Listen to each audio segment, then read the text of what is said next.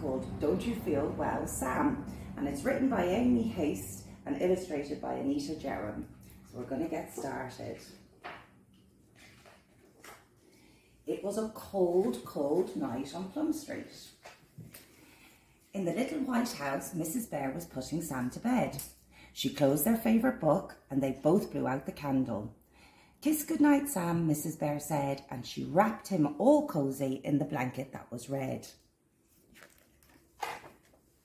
But suddenly she heard a cough. and there sat Sam, curled up and small and coughing in his bed.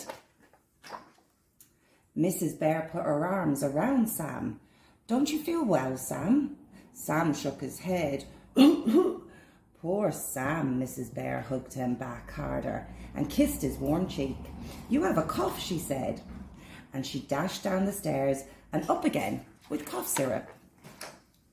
Open wide, Sam, Mrs. Bear said. Sham, Sam shook his head. Tastes bad, he said. Yes, said his mamma. You need to be brave. Sam put the blanket on his head. I don't have a cough. Try again, Sam, said his mamma. Sam shook the blanket off his head. He opened up, then closed his mouth tight. The spoon was too big. Too big, said Sam. you can do it, Mrs. Bear said. I know you can, Sam.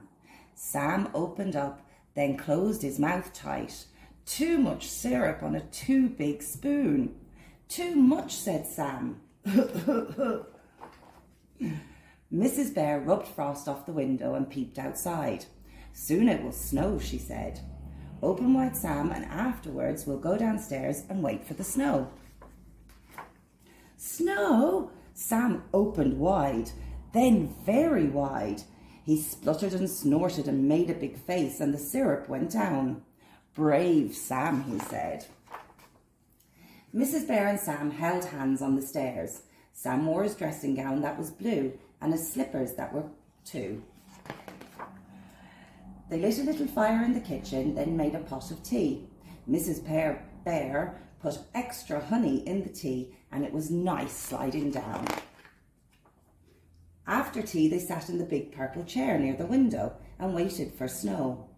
Mrs. Bear told a story about a bear called Sam. Sam liked the story, so she told it again. went the cough every now and then.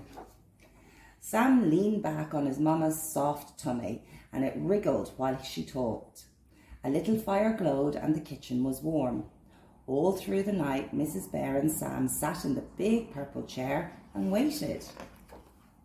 And finally, it snowed.